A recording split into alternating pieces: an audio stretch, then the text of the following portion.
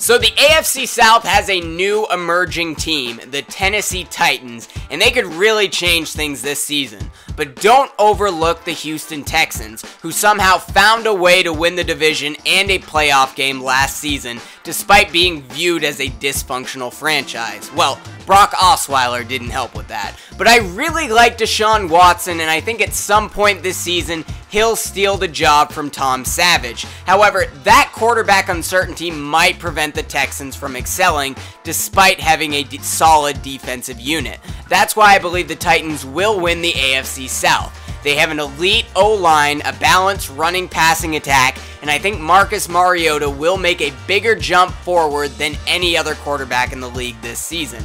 And their defense isn't bad. They drafted a corner in the first round, added Logan Ryan from New England, and Johnathan uh, Cyprien at safety. You'll notice I haven't mentioned the Colts yet. Well, the situation with Andrew Luck's health isn't looking good, or else they wouldn't have traded for Jacoby Brissett.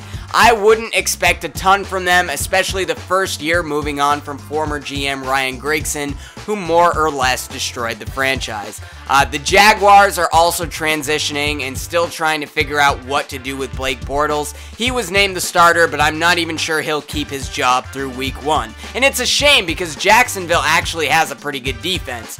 Uh, so I have the Titans winning the division at 10 and 6, with the Texans finishing at 9 and 7 for the fourth consecutive season, followed by a big drop off with the Colts and Jags. And my final two playoff teams are the Titans and the Texans, winning a 9 and 7 tiebreaker for Houston.